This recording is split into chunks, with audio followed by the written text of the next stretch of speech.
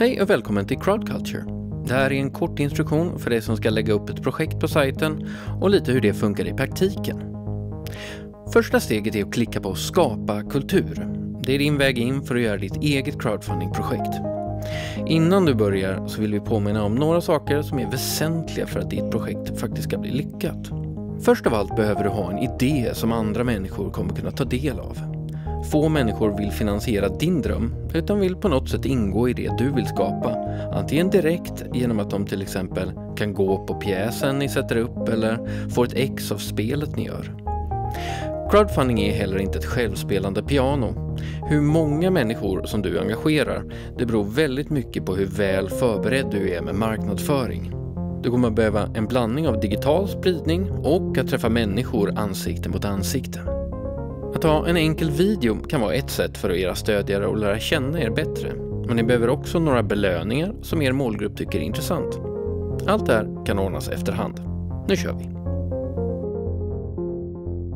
Det här är sidan som allt inom ditt projekt finns. I den stora rutan lägger du en video och kanske en bild som kommer vara den bilden som besökarna ser innan de klickar på filmen. Längst upp till höger är ekonomiska mål. Det övre är hur mycket ni ska samla in och det undre är hur mycket totalbudgeten är som finns för att era stödjare ska få någon slags uppfattning om hur omfattande projektet är. Längre ner till höger finns en belöningar som är knutna till projektet. Vi kommer till dem senare. Börja med att lägga in grunduppgifter som vad projektet heter, var ni håller till och när det ska starta. För dig som ska göra en internationellt riktad kampanj kan du också lägga olika texter på svenska och engelska beroende på vilket språk personen läser sajten på. Under synopsis lägger du den texten som möter stödjarna direkt när de går in på projektet. Den behöver ge en ordentlig genomgång av vilka ni är, vad er idé handlar om, vad som är planerat och vad stödjarna kan förvänta sig av er. Sen finns några ytterligare delar för de som vill läsa vidare. Under plan lägger ni en kort beskrivning av tidsplanen. Under målgrupp vilka projektet faktiskt vänder sig till. Och mål är en beskrivning av vad ni hoppas uppnå med projektet. Under budget så lägger ni en kortfattad budget av hur ni ska använda stödjarnas pengar. Sen så är det dags för belöningarna, alltså det som ni erbjuder stödjarna för att de ska vilja vara med och finansiera er idé. Här lägger ni till summan och en beskrivning av belöningen samt eventuellt en bild och om det finns moms inblandat. Vad som är en bra belöning det är svårt att säga, det beror liksom helt på kampanjen. Men det finns vissa tumregler som man kan tänka på. Ni kan se på belöningarna som en slags trappa olika saker i olika prisklass som möter olika gruppers önskan om att associera sig på olika sätt med projektet. Försök att komma på några saker som du kan ge digitalt till stödjare i spannet någonstans 50 till 250 kronor. Det behöver alltså inte vara fysiska ting utan kan kanske få ett tack på er webbplats eller få träffa skådespelarna i en pjäs innan premiären. Det är också viktigt att ha bra belöningar runt 500 till 700 kronor.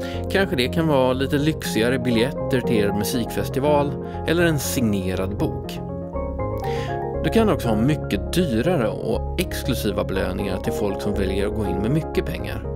Det är inte alls ovanligt att till exempel en filmregissör erbjuder en middag till stödjare eller att företag får göra reklam på er webbplats under en tid. Att ha fem belöningar på 50, 250, 500, 2000 och 10 000 kronor. Det är ett exempel på hur en sån här trappa kan se ut. De små belöningarna ger inte så mycket pengar var för sig, men kan engagera många och ge mycket spridning. De stora hjälper projektet mycket ekonomiskt. En av de mest centrala funktionerna på Crowd Culture är att vi delar ut offentliga medel från ett antal olika fonder. Ju fler stödjare du har, desto större del av kakan får du från den fonden. För dig som söker offentliga medel så är det just de här gröna stödjarna som är viktigast eftersom det är utifrån dem som de offentliga medlen beräknas. Att vara månadsstödjare innebär att personen betalar 50 kronor i månaden i upp till tre månader. En tumregel för dig som söker offentliga medel kan vara att ni har två gröna belöningar. En för 50 kronor och en för 150, alltså en och tre månader. Så länge ni har minst fem månadsstödjare under en dag så får ni ta del av de offentliga medlen som ni sökt från. När du har kommit så här långt så kan du spara ditt projekt om du inte redan gjort det. Och gärna bjuda in några andra för att titta på kampanjen. Länken i fönstret kommer vara samma hela tiden och även om projektet inte går att hitta direkt på sajten så kan du dela med dig av länken till andra för att få åsikter och idéer om hur den här kampanjen kan förbättras. När du känner dig helt färdig så klickar du på Publicera. Har du då glömt någon del så kommer sajten påminna dig om vad som saknas. När du publicerat skickas ett meddelande till oss på Crowd Culture. Vi tittar då igenom din kampanj och kommer ofta med lite feedback om hur den kan förbättras. För att lägga upp ett projekt på CrowdCulture så behöver du själv vara betalande månadsstödjare i tre månader.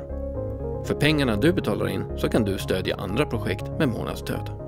I det sista steget söker sajten efter en offentlig fond som kan medfinansiera ditt projekt. Om ni passar in på någon av fonderna så kommer ni kunna ange att ni söker pengar där.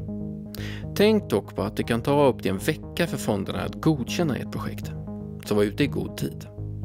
När allt är klart så får ni ett mail från oss och sen så är det bara att börja marknadsföra ert projekt. Hör gärna av er om ni stöter på problem. Vi svarar inom ett dygn på mejladressen hej crowdculture.se. Lycka till!